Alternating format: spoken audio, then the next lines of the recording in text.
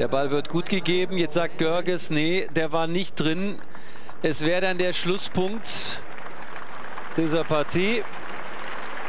Und ja, sie schaut hin, akzeptiert es. Klarer Erfolg. 6-3. Oh, das hat es aber gut gesehen, mein lieber Mann.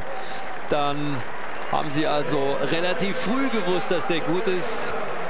Ein Zentimeterchen war der an der Linie. Das ist wieder eine beeindruckende Leistung. 6-3, 6-1 für Azarenka, die jetzt also gegen Agnieszka Radwanska anzutreten hat. Man kann sich nur wundern, wie die das hier mit einer Perfektion hinlegt. Es ist ein weiterer Erfolg für sie.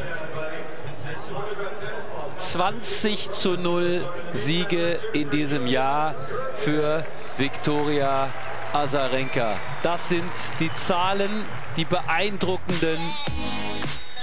Und wir schauen mal, also ab 12 Uhr Ivanovic gegen Wozniacki. Das ist aber auch schon eine Partie, die sicherlich eine Menge Spaß machen kann.